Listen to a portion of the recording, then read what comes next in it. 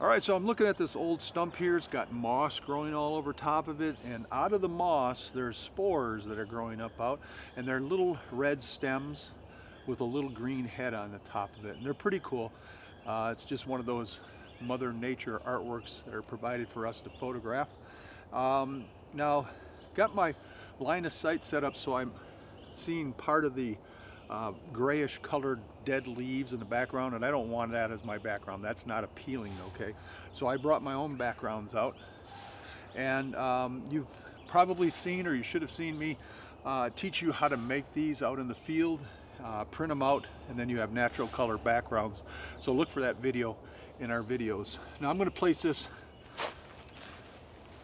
directly behind it and I've got my uh, focus already set and I'm using the highest f-stop. I think I'm at 40 because I want to make sure I get everything in focus. When I'm in this really close, your depth of field really shrinks down. Got my self timer set. Okay, so we'll check that image out. And that looks pretty good. I think I'm going to raise it up just a little bit, getting a little too much of the green moss and not enough of the background there. All right, refocus.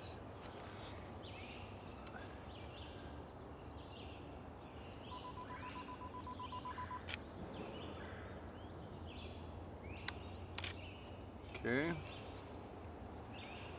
All right, it looks good. All right, so I'll check out more of these mossy tree trunks, dead tree trunks, and uh, look for some more of this. Sometimes you get it in really um, you know, kind of spaced out.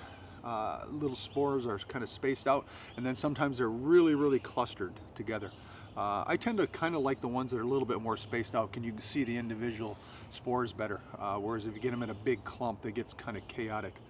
All right, so um, hopefully when I get home, look at it on the computer, maybe do a little post-processing magic in it, and uh, have something pretty cool.